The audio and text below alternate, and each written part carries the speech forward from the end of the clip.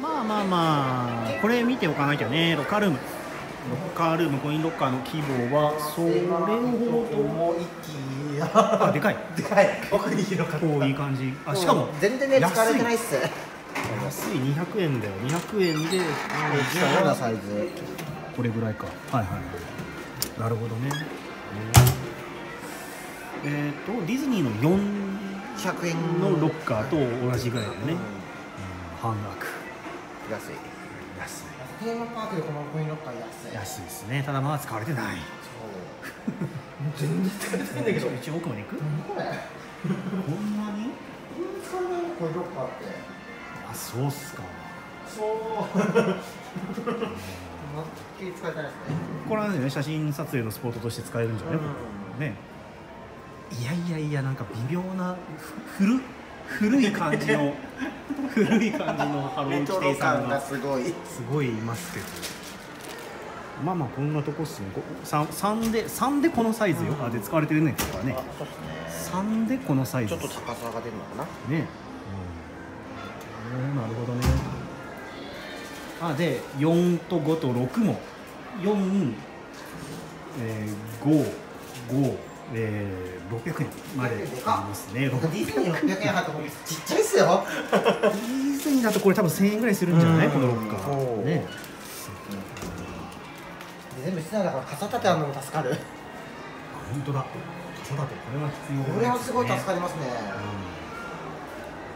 うん無料無料っぽいっすねあ無料だすげえな。これはありがたいと思う、というわけで、まあ、テーマパークに来たら定番のロッカーあコインロッカーの。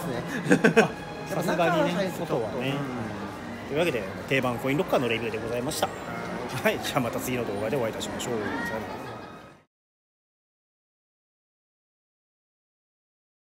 えーっとまあまあまあそんな感じでピョロランドね、えー、2時間3時間ほど楽しみましたけど時間ぐらいかなえーさすがっすねえっとチケットがいくらだっけ？3300円、そうですね。ワンデーで3300うん。円、平日でちょっと安くなるんだよね、うん。ワンデー。平ね日が3300円。土日がちょっと高くなった土日が？36?1 ぐらいかな。うん。気持ちよ高くなります。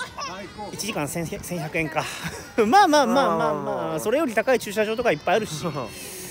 まだね回りきれてないとこもいっぱいありましたしね。まあまあまあ、あ、うん楽しみはね残すぐらいでいいんじゃないかなって思いますよ。あのやり尽くしちゃうとあの2回目3回目って来なくなるから。ね。はい。じゃあ次来るのはまた10年後ということで。いやーね。